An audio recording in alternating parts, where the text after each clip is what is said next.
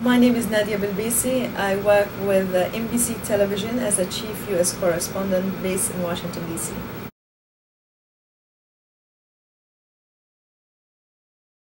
I grew up in Gaza mainly. Most of my formative years were in Gaza till I was 18 year old.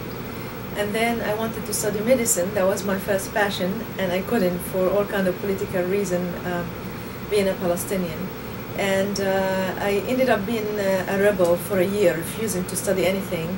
And finally, I came across somebody who told me, persuaded me to go to Birzeit University. I was really interested in that. Uh, it was a, a, great experience for me. I was on the student council, I was an activist in student life.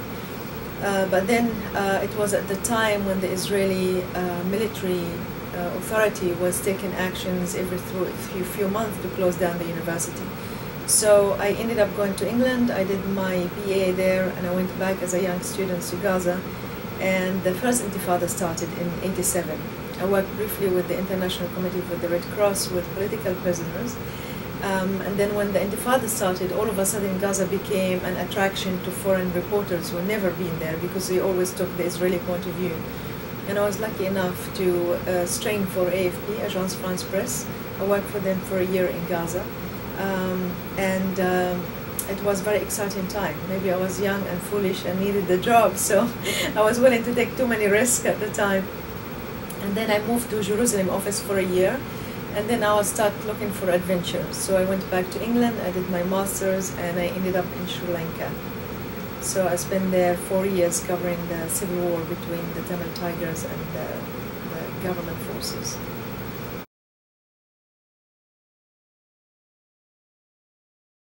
Most important for me as a journalist before I am a Palestinian is the integrity of the of the profession. And I always say to young people, the most important thing is your objectivity, that you double check the sources, that you're good as your last story, regardless of how, if you're a veteran or a new reporter. We're still miles away from being perfect, and uh, you know, journalism does not exist in isolation with everything else that political happening in one country normally is, is, is a fourth uh, authority, is a pillar of, uh, of uh, democracy. And um, until now, I think we have few independent publications in Palestine, but by large, I still believe that most of them still follow um, the government line. And I think it's very, very important for us and it's easy for me to say that because I live in Washington. Sometimes people have to uh, sacrifice their lives being in a, a, place where they report or they uncover a situation that's very uncomfortable for the authority and they pay the ultimate price of basically going to jail or even losing their life as a result.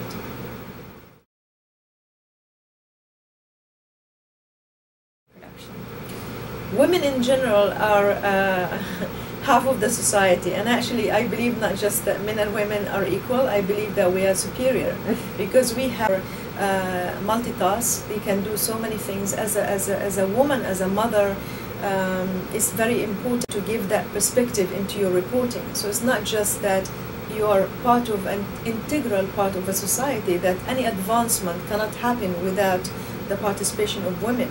Uh, but particularly because you have this inside situations, I believe that I cover it in a different way that my male colleagues would. Palestinian women have been pioneers in comparison to many other Arab women in terms of being in the forefront of leading because of the situation that we have to struggle under occupation. So they've always been part of everything that's happening there. But nowadays we have seen probably a, a setback. And at my time, I'm talking about almost 20 or 25 years ago, you know, women were part in everything, the trade unionists, the feminist movement, the political leaders, um, the idea of enlightenment and and uh, and given a, um, a, perspective from a tolerant point of view that we don't see now. I think maybe the rise of extremism and maybe political Islam has changed the landscape uh, in the Arab world and also in Palestine. So women has to be uh, in the front, and I believe that we are qualified to lead. It's not just the fact that you have a quota that women has to be there because we are women. I honestly believe that women offer uh, a better world. A women leader on the top um, can change things always to the better of everybody because also they lead a family. It's not just, it's a household. So the betterment of, of life of women will result in a, a better society for all.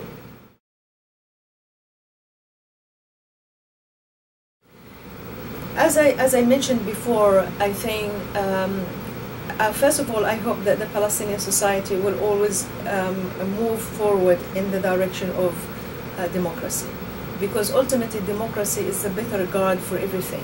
It's less war, it's less conflict, it is an expression of uh, individual rights, of women rights, of human rights, and journalism, by extension, is part and parcel of this package.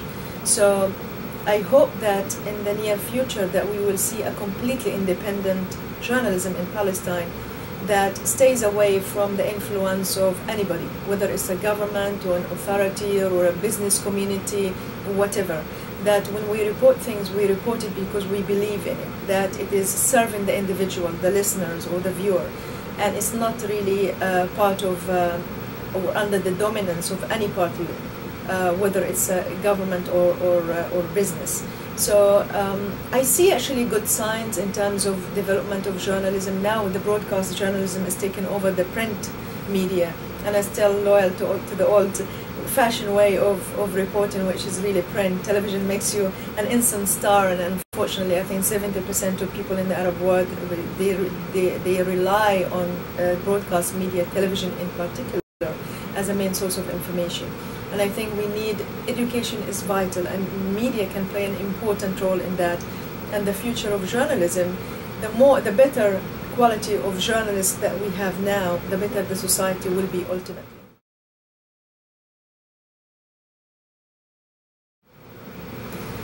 You know, I take inspiration from in, from ordinary people. I've been in situations where I don't have to give you a name of a role model, but actually sometimes I see the, the hardship uh, of people living in a hut in southern Sudan or people struggling just to make a living uh, in, in, Nigeria or in Kenya or in South Africa or in a refugee camp in Lebanon.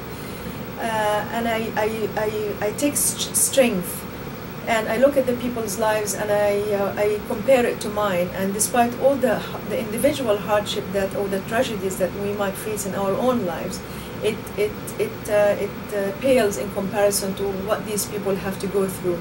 And sometimes our job is very hard. I mean, it's glamorous most of the time, but it's very tough uh, uh, in in retrospect, looking back at the wars that I have covered.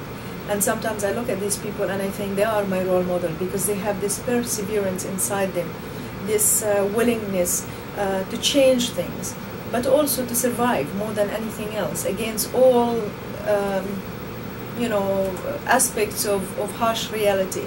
I think they're the people who inspire me the most.